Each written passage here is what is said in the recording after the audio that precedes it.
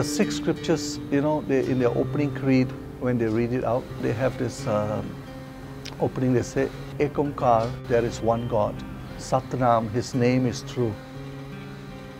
Kartapur, he is the God, the creator. Nirpo, he has no fear. Nirvair, he has no enemy.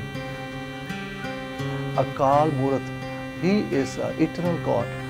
Ajuni Sahib he has no beginning of birth.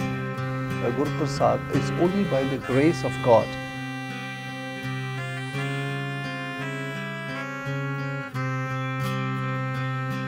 Well, I was uh, born in a middle class family in Punjab. Around the age of seven, my family moved to the UK. So many of my relatives, they live abroad, they live in Europe, they live in, uh, you know, UK. I've always known about the Punjabi Sikhs. I remember there was a large temple just north of my house when I was growing up. There's a large population of Sikhs in my hometown in Canada. The UK has one of the largest populations of Sikhs outside of India. Uh, Sikhism pretty well has everything. It was a reformist religion to start with. It was reforming beliefs in the area between uh, Islam and, and Hinduism, believing in one God, high level of morality, hard work, living in the now, not in the virtual world. This is the foundation of Sikhism. Sikhs are, are very, um, very zealous, but they're also very open, very loving, very friendly. Sikhs are all in or all out, zero one, there's no gray area. There's a saying among our people, either you can, you can give your life for a cause or you can take your life for a cause. So they can be extreme in both ways. And I really believe that if one who has genuinely turned his heart and come to know Jesus Christ, it can be powerfully, powerfully used.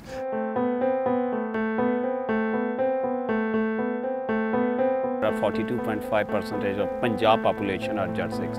And uh, hardly, hardly there are few thousands who have accepted Christ. And there are so many people who are still unreached. More than anything else, my heart is broken because they don't realize they are worthy of the gospel. So they've denied the gospel. They don't open their heart. And then they don't believe the truth. God loves them. Oh Lord, what do we do for them? How do we get their heart? I'm so pained, Lord. You have a will for them, and you want them to turn back to you.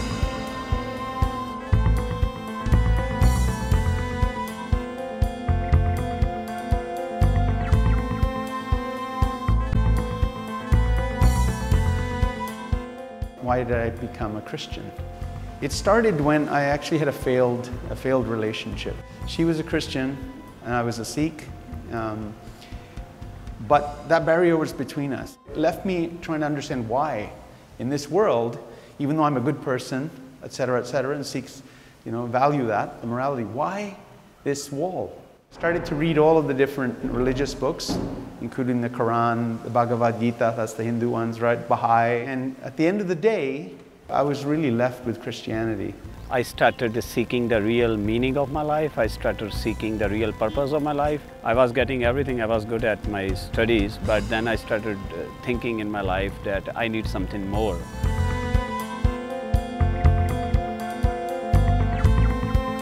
When I accepted Christ 10 years ago, and there was, I was the very first convert in my block, in that whole area. I was the very first guy who accepted Christ. And today we have a very vibrant church. We have Sunday school every week. We share the gospel, worship God, and teach the Bible.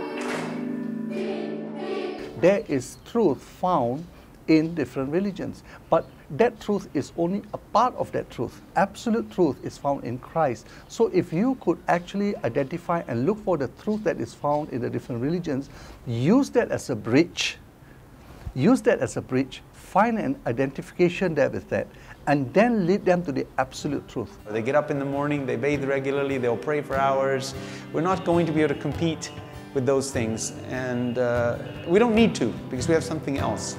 But then we've really got to live that out and show it. Be part of everything that they do. Um, their family, their food, they saw that I was willing to live the way they live, and that was important to them too. Be part of the good things in their culture. Come in, take the risk, because they're friendly people, and they, they love to actually integrate and talk and whatever.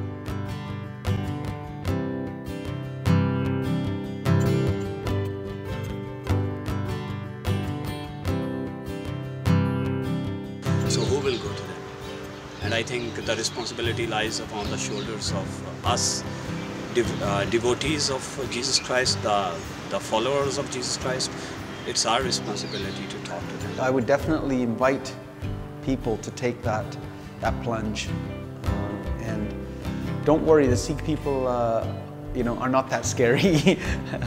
they, in fact, uh, will be some of the best friends you could ever have. Uh, this is a plea, this is a cry, and this is something God really desires because He don't want anybody to perish. And He, I, I really, I believe that, that with all my heart, that God doesn't want Punjabi people to perish without knowing the saving knowledge of Lord Jesus Christ.